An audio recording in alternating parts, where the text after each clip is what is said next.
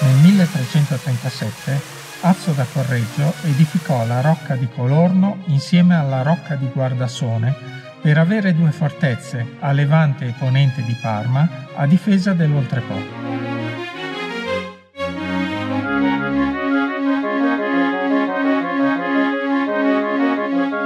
La Rocca di Colorno ristrutturata nel secolo XVI dalla bellissima, a quanto si dice, e raffinata contessa Barbara di San Severino, cantata da Torquato Tasso nel sonetto In lode dei capelli di Donna Barbara Sanseverini, contessa di Sala, che la trasformò nel palazzo sede della sua corte e di una ricca raccolta di dipinti, da Tiziano a Correggio, da Mantegna a Raffaello.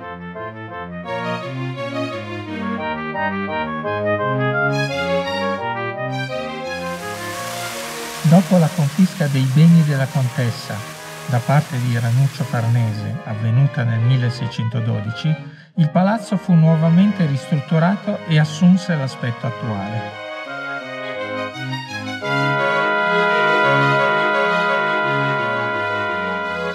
In seguito al Trattato di Aquisgrana, 1748, che concludeva la guerra di successione austriaca, il Ducato di Parma e Piacenza passò da Maria Teresa d'Asburgo ai figli di Elisabetta Farnese e del re di Spagna Filippo V di Borbone.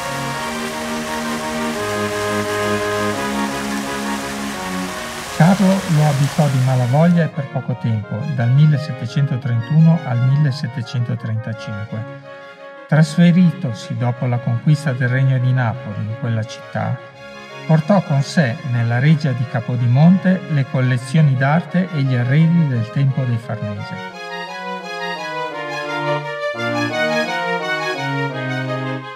Subentrato al fratello, Filippo si installò nella reggia in pianta stabile insieme alla moglie Luisa Elisabetta, figlia del re di Francia Luigi XV, alla quale i cittadini di Colorno furono presto felici di riferirsi con il nome con cui i familiari della duchessa le si rivolgevano affettuosamente.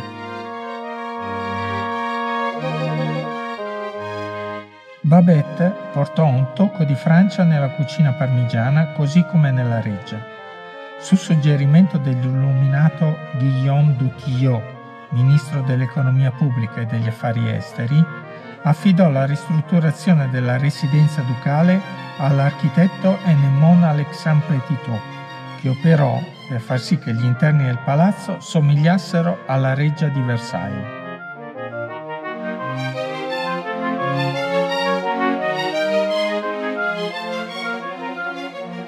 Il successore, Ferdinando, preferì abitare in un edificio attiguo al palazzo, in un appartamento dotato di una biblioteca con più di 6.000 volumi e di un osservatorio astronomico. Uomo pio, reazionario, bigotto, introverso e appassionato di astronomia, fece ricostruire l'oratorio di corte di San Liborio, invertendone la pianta per renderlo più accessibile alla popolazione.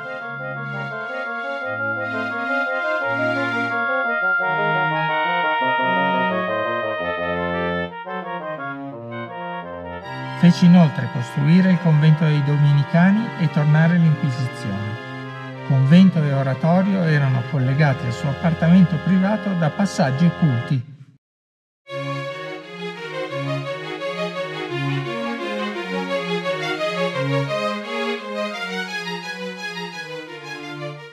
Annesso da Napoleone il Ducato di Parma alla Francia, la residenza fu decretata Palazzo Imperiale ma in seguito al congresso di Vienna nel 1815 passò alla moglie di Napoleone Maria Luigia d'Austria, che trasformò il giardino all'inglese.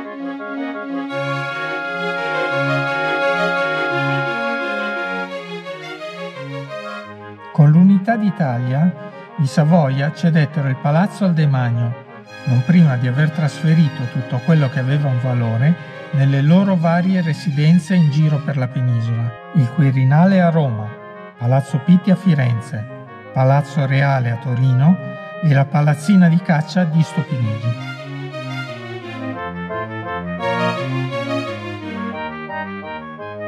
Dopo l'acquisto nel 1870 da parte della provincia di Parma, il palazzo fu adibito a ospedale psichiatrico e tale rimase fino al 1978, quando la legge Basaglia decretò la chiusura dei manicomi.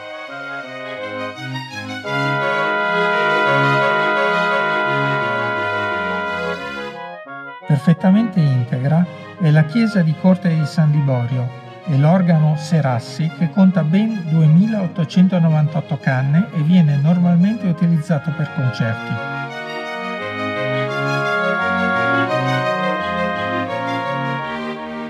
Oggi il complesso è aperto al pubblico per visite guidate, mostre d'arte e serate musicali ed intrattenimento. In un'area del palazzo ha sede Alma, la scuola internazionale di cucina italiana, il più autorevole centro italiano di formazione culinaria a livello internazionale, fondata dal maestro Gualtiero Marchesi.